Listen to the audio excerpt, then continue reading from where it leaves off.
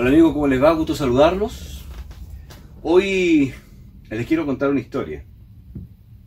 Hace muchos años atrás, no sé, 15, 20 años atrás por lo menos, eh, estaba incipiente la, carrera de conectividad y redes.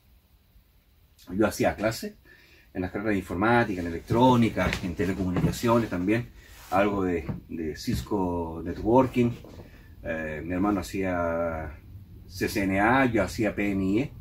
Y bueno, eh, cuando parte la carrera de conectividad y redes, obviamente llegaban los, los alumnos con, con, con, muy pocos conocimientos y, y, por aquel entonces también el protocolo TCP/IP, que si bien es cierto no, no era incipiente, sí no era muy eh, conocido tal vez entre los, los técnicos y, los profesionales más tradicionales. Eh, la tecnología de transmisión de datos en realidad era un, entonces era un concepto bien abstracto que era un tanto difícil de entender.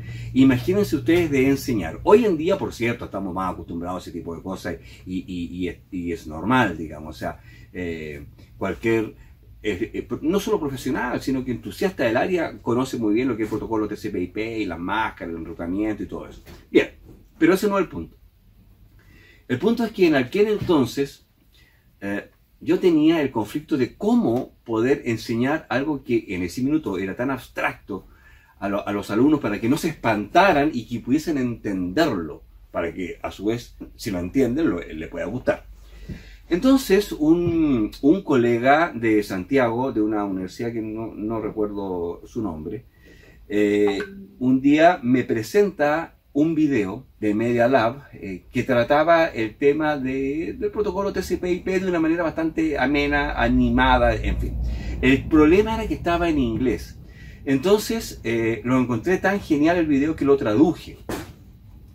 Lo traduje y luego le pedí ayuda a un amigo locutor, Eduardo Bravo Serrano, que va un, un cariñoso saludo para él, y, y, lo hicimos. Pero una vez que estuvo listo, dije yo, pero pucha, aquí estoy cometiendo una falta con el tema de los derechos de autor. Entonces me contacté con la gente de Media Lab, quienes, quienes eran los creadores reales de, de Warrior of the Net, y les conté, le dije, mire, soy, mi nombre es Brian Nasser, soy de Chile, soy electrónico de habla hispana, y este video no estaba en español, le hice la traducción y eh, además hicimos la, la, narración. Eh, la cosa es que me contestaron, pero creo que al otro día, que fantástico, que extraordinario, que por favor les envíe la traducción eh, y el relato. Lo hicimos y creo que no pasó una semana en que ya estaba disponible en la web. Bueno, Salió Warrior of the Net en español y créanme que fue visto por no sé cuánta gente. Eh, muchas universidades, institutos y, y centros de educación de, tanto de electrónica como de telemática, de telecomunicaciones, de conectividad y red lo utilizaron. Y creo que yo nunca lo publiqué, creo que lo publiqué una vez, o sea, lo usaba en clases con mis alumnos. Y creo que una vez lo publiqué en la página de Nace de Ingeniería porque teníamos entonces, hoy día creo que no está, un apartado con varias cosas, había una, eh, unos cursos de conectrización de fibra óptica y varias cosas más. Y entre ellos estaba eh, Warrior of the Net. Eh, anoche, eh, buscando en YouTube otra, otro asunto, me topé con The Warrior of the Net y dije, oh, nosotros somos los, los originales y no está en nuestro canal. Así que antes de, antes de ir a aquello, un saludo de mi amigo Eduardo Bravo Serrano. Eduardo, ¿cómo estás? Un gusto de saludarlos. Habla Eduardo Bravo Serrano. Qué grato es verlos allí, desde sus espacios de trabajo tal vez, para compartir este encuentro. Un abrazo para cada uno de ustedes y eternamente agradecidos que estén allí y apoyen esta iniciativa regional. Un abrazo para cada uno de ustedes. Chao, chao. Gracias, Eduardo. Es mi amigo locutor, también de acá de Coyhaique, Chile. Y bueno, seguramente lo reconocieron. Él es la voz eh, de, de, Warrior of the Net en español. Eh, vamos a ver, le voy a indicar en dónde está el original. Vamos. Muy bien, en un explorador de Windows vamos a buscar eh, Warriors mm, of the net. A ver, ¿qué me sale? Ah, YouTube. Acá está. Warriors of, que es Warriors, Warriors con S, of the.net. Ahí está el asunto. Bien, si ustedes se fijan aquí y nos vamos a See Movie, City Movie, acá tenemos en, en, Spanish, ahí dice Translation B, Brian Nasser Soto, que soy yo, and Narration of Eduardo Bravo Serrano. Ustedes lo pinchan ahí y, ah, ahí está, y, y ya lo tienen. Amigos, que lo disfruten.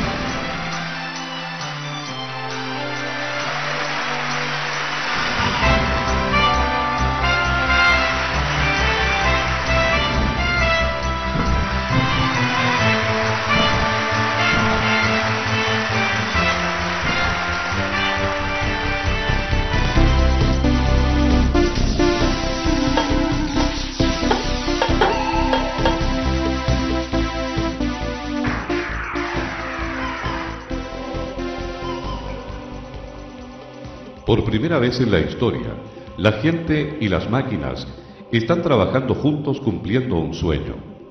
Una unión de fuerzas que no conoce límites geográficos ni repara en raza, creencia o color. Una nueva era donde la comunicación verdaderamente lleva a unir a la gente. Esto es el amanecer en la red. ¿Quieren conocer cómo funciona?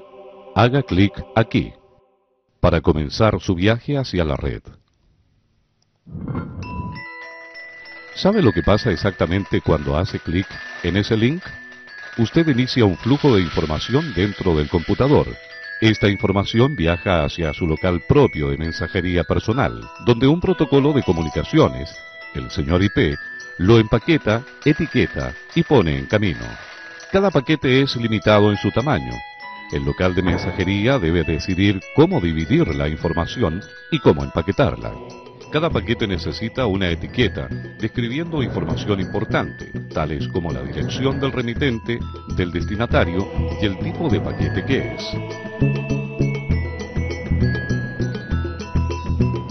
Debido a que este paquete en particular va dirigido a Internet, también recibe una etiqueta para el servidor proxy, el cual tiene una función especial como veremos más tarde.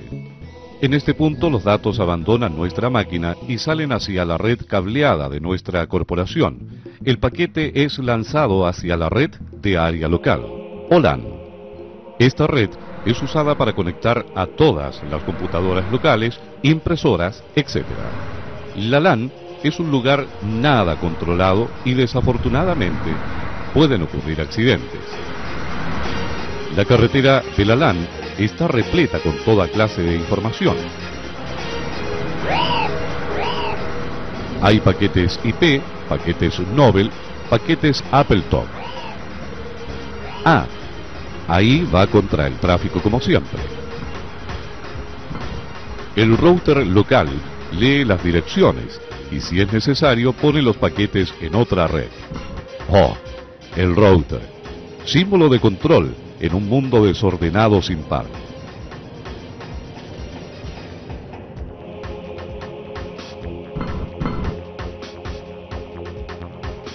Así es él, sistemático, desinteresado, metódico, conservador, y en algunas veces no precisamente rápido, pero exacto, casi siempre.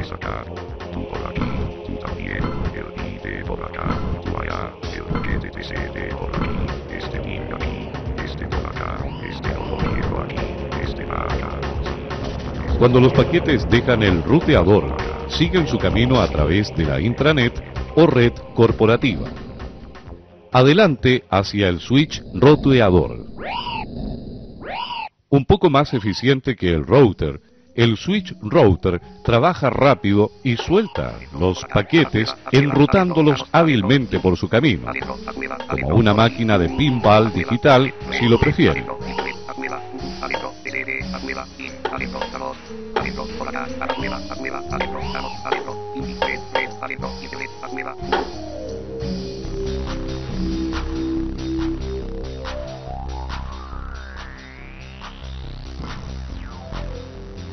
Cuando los paquetes llegan a su destino, son recolectados por la interfaz de red para ser enviados al siguiente nivel. En este caso, el proxy. El proxy es usado por muchas empresas como un intermediario, con la función de establecer y compartir entre varios usuarios una única conexión de Internet y también por razones de seguridad. Como puede verse, todos los paquetes son de diferentes tamaños dependiendo de su contenido.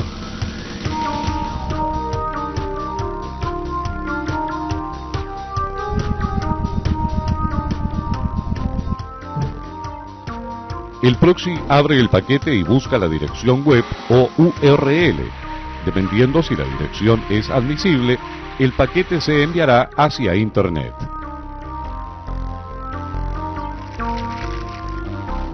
Existen, sin embargo, algunas direcciones que no cuentan con la aprobación del proxy, según cómo haya sido configurado, de acuerdo a las políticas corporativas o de administración. Tales direcciones son inmediatamente ejecutadas. Este no es nuestro caso.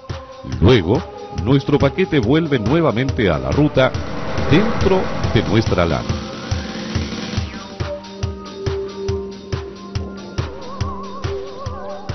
Próximo paso, el firewall.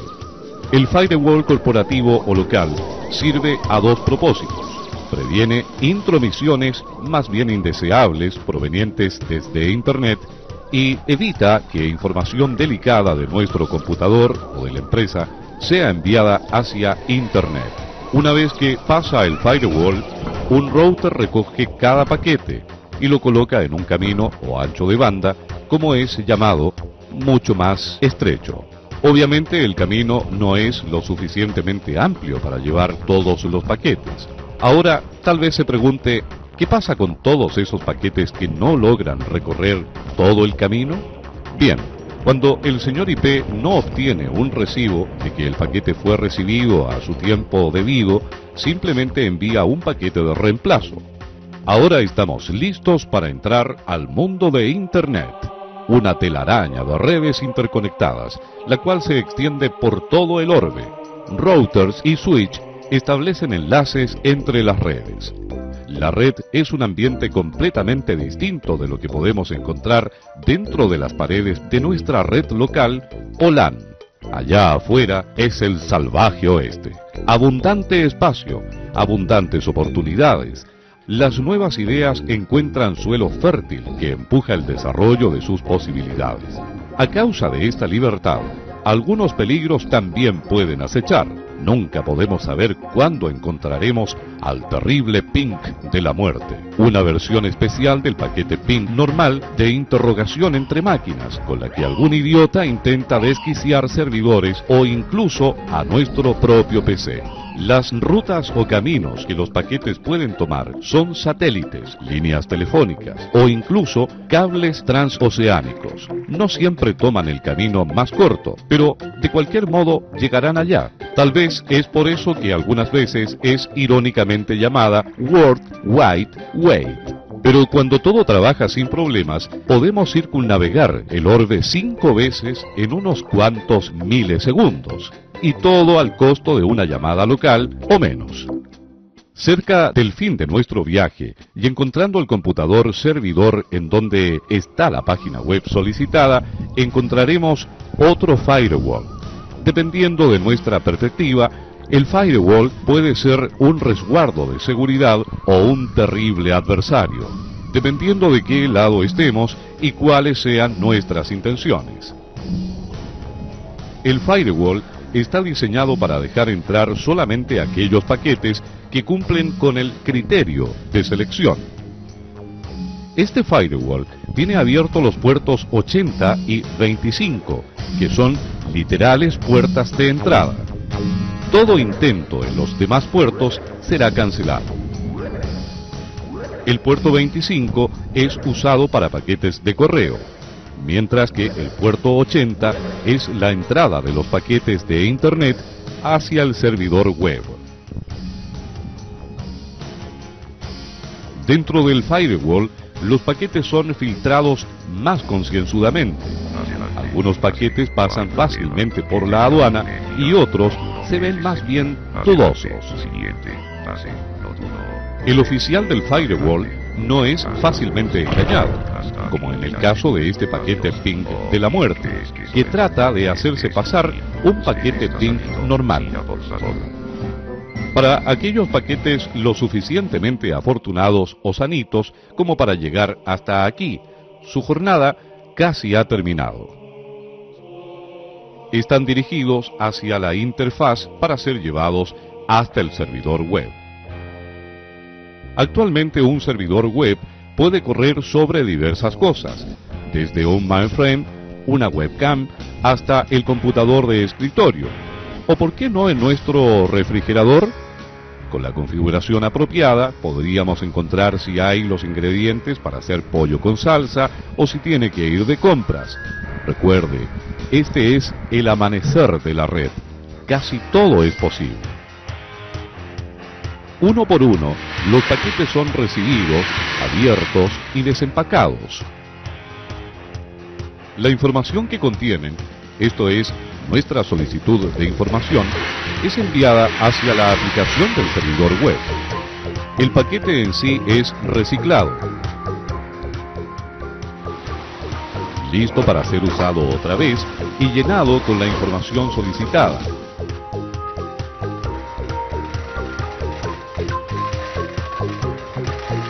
Etiquetado y enviado de regreso hacia nosotros.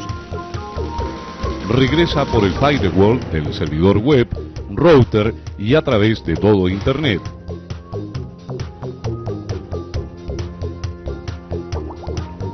De vuelta a nuestro firewall corporativo,